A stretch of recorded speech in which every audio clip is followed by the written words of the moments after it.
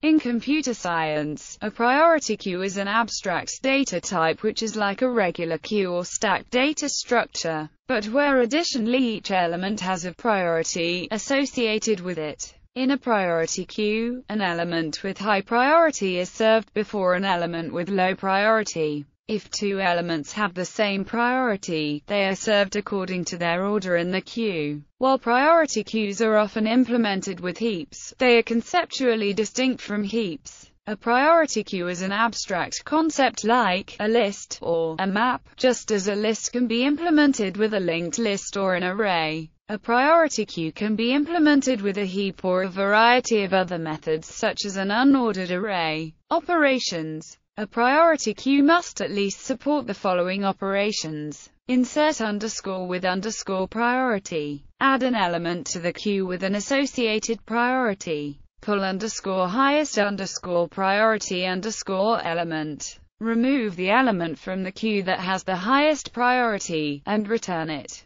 This is also known as pop underscore element, get underscore maximum underscore element, or get underscore front underscore element. Some conventions reverse the order of priorities, considering lower values to be higher priority, so this may also be known as get underscore minimum underscore element and is often referred to as get-min in the literature. This may instead be specified as separate peek underscore it underscore highest underscore priority underscore element and delete underscore element functions which can be combined to produce pull underscore highest underscore priority underscore element. In addition, peek, which returns the highest priority element but does not modify the queue, is very frequently implemented, and nearly always executes in O time. This operation and its O performance is crucial to many applications of priority queues.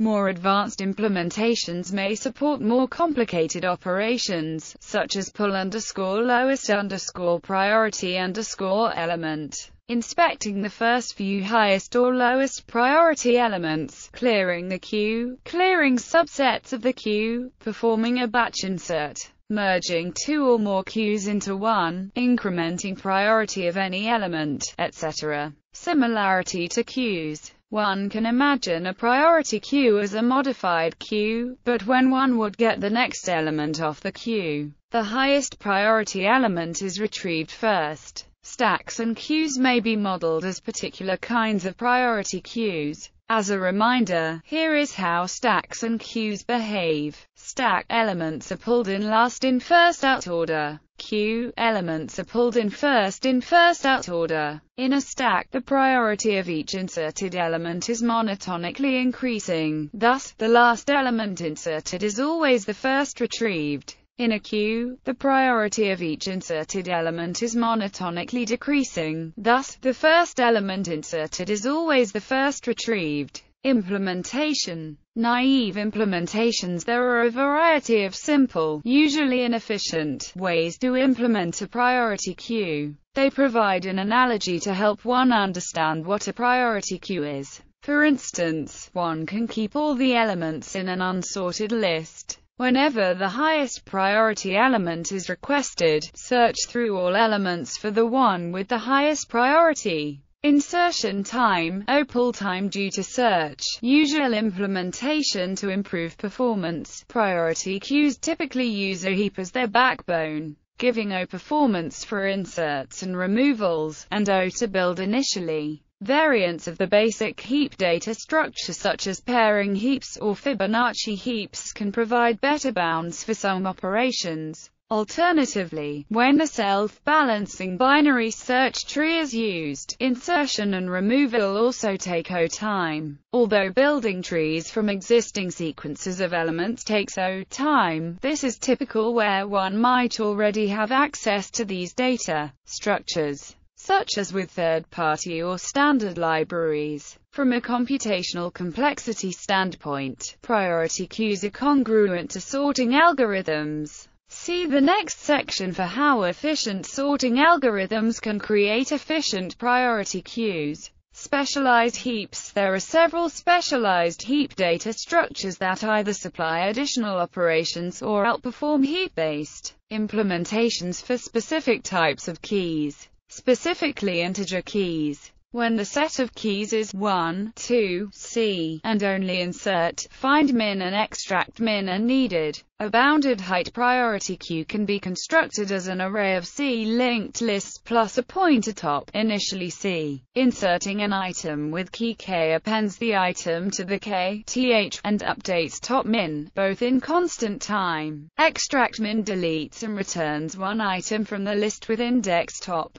then increments top if needed until it again points to a non-empty list. This takes O time in the worst case. These queues are useful for sorting the vertices of a graph by their degree. For the set of keys 1, 2, C, a Van Emde Boas tree would support the minimum, maximum, insert, delete, search, extract min, extract max predecessor and successor operations in O time, but has a space cost for small queues of about O, where M is the number of bits in the priority value. The fusion tree algorithm by Fredman and Willard implements the minimum operation in O time and insert and extract min operations in time however it is stated by the author that our algorithms have theoretical interest only. The constant factors involved in the execution times preclude practicality. For applications that do many p operations for every extract min operation,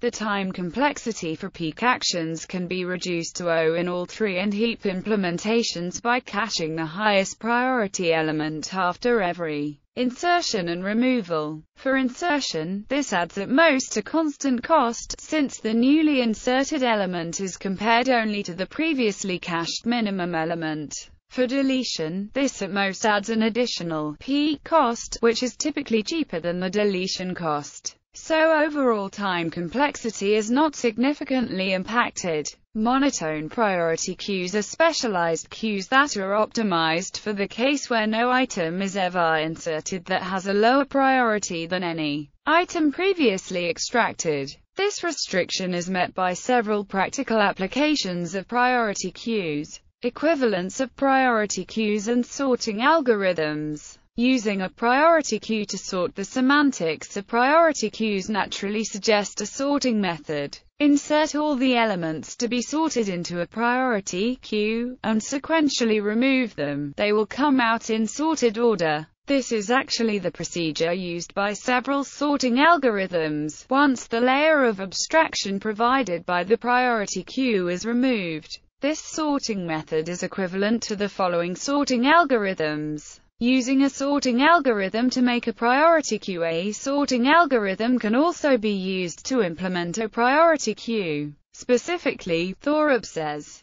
we present a general deterministic linear space reduction from priority queues to sorting implying that if we can sort up to n keys in S time per key, then there is a priority queue supporting delete and insert in O time and find min in constant time. That is, if there is a sorting algorithm which can sort in O time per key, where S is some function of n and word size, then one can use the given procedure to create a priority queue where pulling the highest priority element is O time, and inserting new elements is O time. For example, if one has an O-sort algorithm, one can create a priority queue with O pulling and O insertion libraries. A priority queue is often considered to be a container data structure, the standard template library, and the C++ 1998 standard, specifies priority underscore queue as one of the STL container adapter class templates.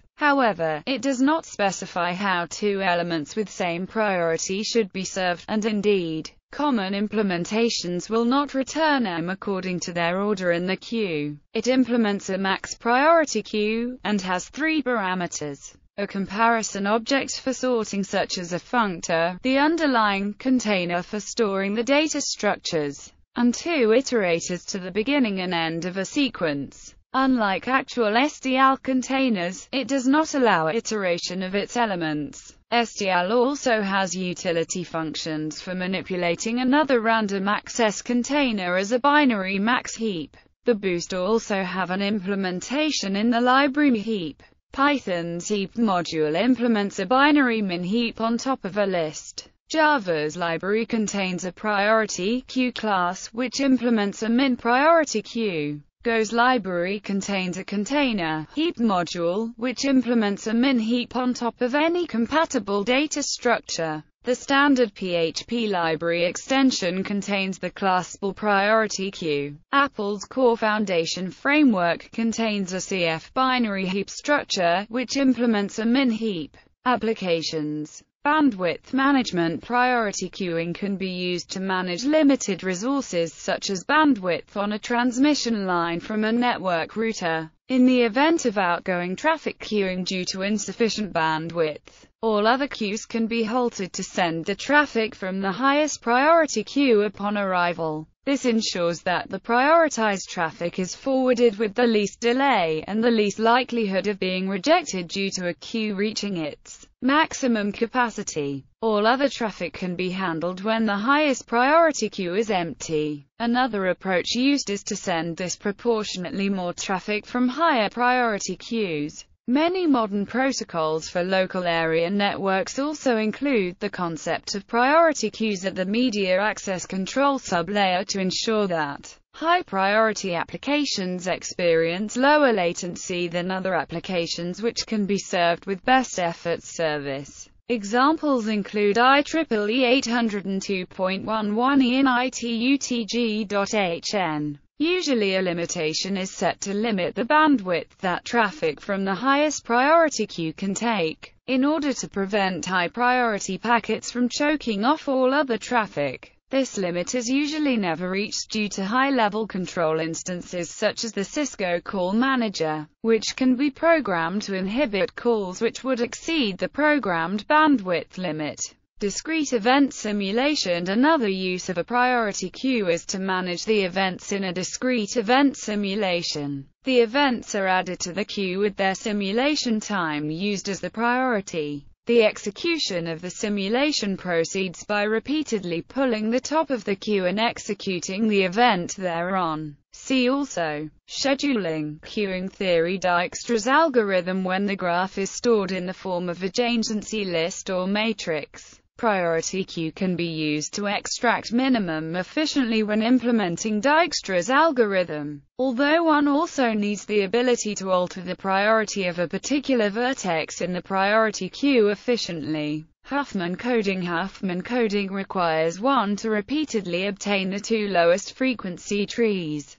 A priority queue is one method of doing this. Best first search algorithms Best first search algorithms, like the A** search algorithm, find the shortest path between two vertices or nodes of a weighted graph trying out the most promising routes first. A priority queue is used to keep track of unexplored routes. The one for which the estimate of the total path length is smallest is given highest priority. If memory limitations make best first search impractical, variants like the SMA asterisk algorithm can be used instead, with a double-ended priority queue to allow removal of low-priority items. ROAM triangulation algorithm The real-time optimally adapting meshes algorithm computes a dynamically changing triangulation of a terrain. It works by splitting triangles where more detail is needed and merging them where less detail is needed. The algorithm assigns each triangle in the terrain a priority, usually related to the error decrease if that triangle would be split. The algorithm uses two priority queues, one for triangles that can be split and another for triangles that can be merged. In each step the triangle from the split queue with the highest priority is split, or the triangle from the merge queue with the lowest priority is merged with its neighbors. Prim's algorithm for minimum spanning tree using min-heap priority queue and Prim's algorithm to find the minimum spanning tree of a connected and undirected graph. One can achieve a good running time. This min-heap priority queue uses the min-heap data structure which supports operations such as insert, minimum, extract min, decrease key. In this implementation, the weight of the edges is used to decide the priority of the vertices. Lower the weight, higher the priority and higher the weight, lower the priority.